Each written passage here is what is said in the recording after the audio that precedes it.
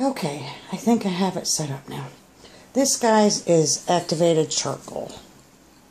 It comes kind of like, kind of like sugar. Well, it's not sticky, but um, kind of like sugar. And what I do, if I'm going to just um, use this to drink in water, I really don't grind it up, but if I'm putting it in my capsules and stuff, I'm going to make a powder out of it. And again, your body does not absorb this. I'm going to just do a little demo. This is my homemade Vaseline. And we all know Vaseline absorbs in the skin. Let me go ahead and rub this on my hands, just so that you saw that I had some. Okay. Okay.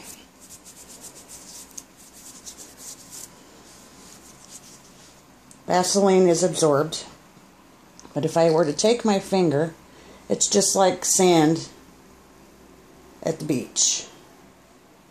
Your body doesn't absorb it, but it will pass through your system.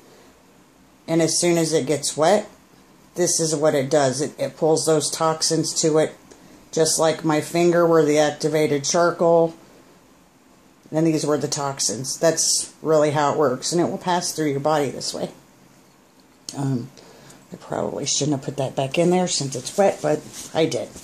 Anyway, so um, to make the capsules, I simply grind this up into a powder. And um, the same capsules like I showed you yesterday for making the oregano oil, I use to do this. And I had got a capsule filling machine.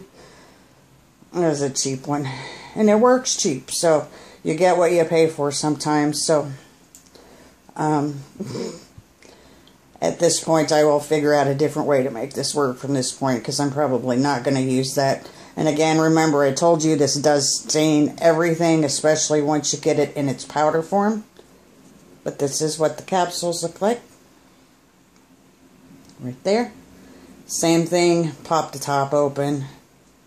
And um, then you close it, and I just keep them stored in a bottle, and when I need them, they are ready to go.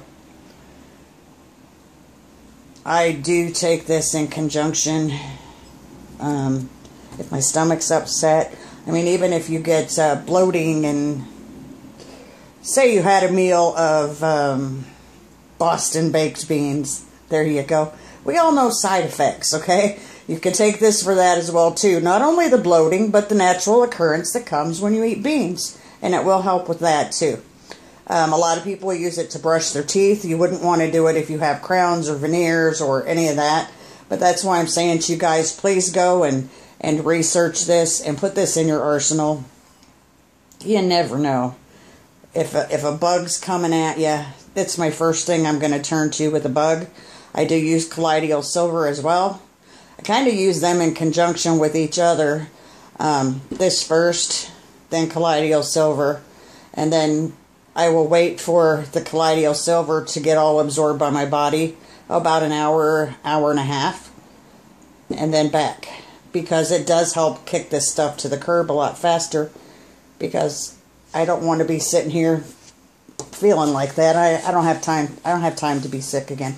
So, um, that's all I have for you. But please check it out. And like I said, when you're going, if you go to purchase it, you will be able to find it where it says it's made from coconut shells. Do not use the stuff that goes on your grill. No, no, no. Horrible. Not. It's not the same stuff. Do not scrape. Um, some people think you can burn toast and scrape that off and use that as a charcoal. Don't do that either. You really don't want to be eating burnt toast. It's just not good. Um, but you can find this easy enough. Amazon, eBay, probably a hundred other places I don't even know about. It's not very expensive and you can get a good size amount for not a lot of money. And if you go ahead when you get it and get some capsules made up, um, get some powderized, it really will be there and be ready for you instead of you struggling in the kitchen when you're like, you know, and trying to get all this done. It, I can't work that way. Maybe some people can. That is just not how I roll. But um, put this in your arsenal. It's another good one.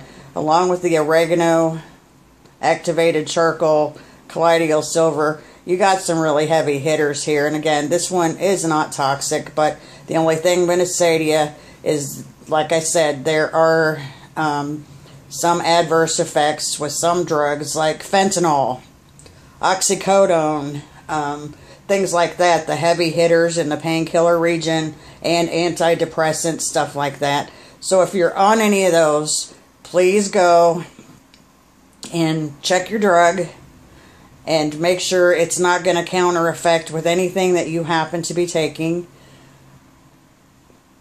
And um, that's all I got for you. Y'all have a great day. God bless you.